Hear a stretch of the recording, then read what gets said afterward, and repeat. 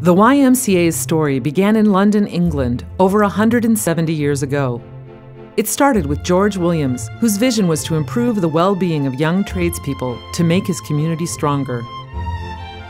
From that humble idea sprang a global movement, inspiring millions to improve themselves in spirit, mind, and body. Over the YMCA's history, the organization has evolved with the times and made many important contributions along the way. By the time of Confederation, the YMCA was supporting residents in 20 locations across the country. In 1885, the Canadian Pacific Railway was completed and became the world's longest railway. At the same time, railway Ys were being built across the country, many in remote areas. They provided much needed accommodations, recreation, and literacy programs for railway workers. The YMCA has always been at the forefront of developing healthy living and physical education programming. The first overnight camps were established in the 1890s. YMCA instructors invented sports that became beloved national pastimes, and a focus on families led to the establishment of Father's Day. As World War I erupted, YMCA leaders offered assistance.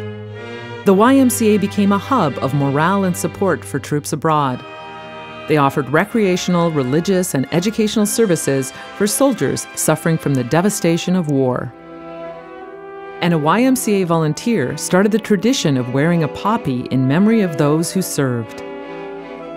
The Depression sparked an important conversation on the role of government in supporting social and healthcare services. The YMCA was the first organization to develop national standardized swim programs teaching vital life saving skills.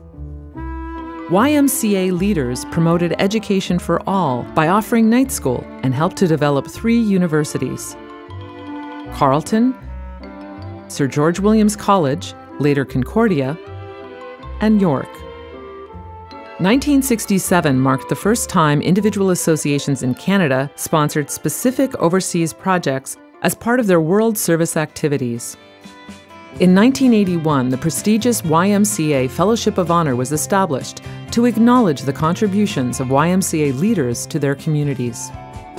The YMCA began presenting medals to groups and individuals committed to the values of peace in 1987. Since then, over 1,900 medals have been awarded. The Ottawa Health Promotion Charter launched organizations and communities into action behind the common goal of health for all, defining health as far more than simply the absence of disease, a foundational concept embedded in all YMCA activities. The YMCA builds on decades of experience in healthy child development to create groundbreaking play based curriculum for preschool and school age childcare.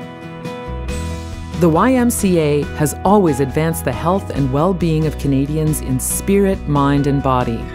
Throughout history, the YMCA has responded to the needs of the country and built healthy communities.